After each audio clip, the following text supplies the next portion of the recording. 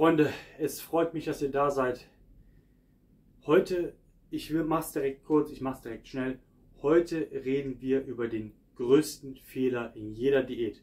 Es gibt 10, 20 verschiedene Fehler, die kennen wir alle. Oder da könnte ich jetzt anfangen. Darüber reden wir heute nicht. Wir reden heute über den größten Fehler, den jeder von uns, ich auch schon mal gemacht hat. Guckt euch das Video an mit dem Handy beim Thema Krafttraining. Das ist der größte Fehler während des eigentlichen Trainings. Aber der Fehler drumherum, der größte, ist dieser hier. Das ist ein T-Shirt von mir. Soll aber eins bedeuten. Die weiße Fahne. Das Handtuch werfen. Aufgeben. Haben wir alle schon mal gemacht. Gerade in der Diät. Ganz kurzes Beispiel. Vielleicht seid ihr genau in der Situation. Gerade wenn ihr mir jetzt auch schon seit 5, 6, 7 Videos vielleicht folgt oder gerade erst zu mir gestoßen seid. Habe ja gesagt, ich mache jetzt so zum Januar hin Neujahrsvorsätze, bla bla, dies, das, eine kleine Transformation.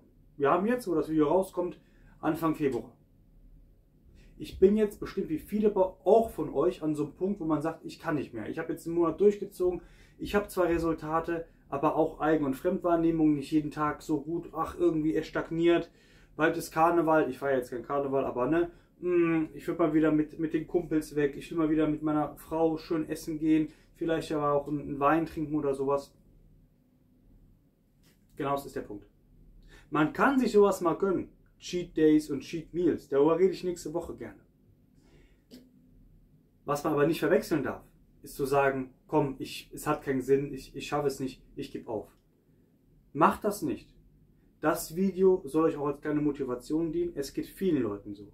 Nicht nur mir, auch richtigen Profis oder Amateuren oder Fitnessmodel, die, die richtig einen guten Körper haben, damit arbeiten. Die sagen auch irgendwann mal, sie können nicht mehr. Wenn ihr diesen Punkt habt, müsst ihr den Punkt überwinden. Schaut euch das Video an, guckt, wie weit ihr schon gekommen seid. Guckt, welchen Weg ihr bereits hinter euch gebracht habt. Guckt, wie nah noch das Ziel von euch entfernt ist, dass ihr das schaffen könnt. Motiviert euch selber. Und dieses Wissen, das ist ganz wichtig, könnt ihr auch auf viele, viele andere Sachen übernehmen. Wir alle hatten schon mal in der Schule, im Studium, im Job, sonst wo, beim, beim Sport, bei YouTube, ich mit YouTube zum Beispiel, wir hatten schon mal alle diesen Punkt, wo man sagt, es bringt doch nichts mehr. Ich gebe auf, ich, ich stagniere irgendwo bei unter 200 Followern, bei keine Ahnung wie viele Stunden Viewtime. Aber jetzt bin ich hier in meinem Keller und mache das Video. Ich mache weiter.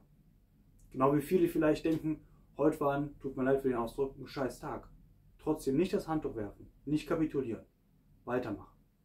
Ob im Kraftsport, ob in der Diät, ob in der Partnerschaft, in der Familie, im Sport, im, im Beruf, sonst wo. Also, schmeißt nicht das Handtuch, bleibt am Ball, viel Erfolg, seid motiviert, beißt die Zähne zusammen, beißt euch durch. Am Ende des Tages wartet der Erfolg auf euch. Wie sagt man so schön, nach dem Regen scheint die Sonne.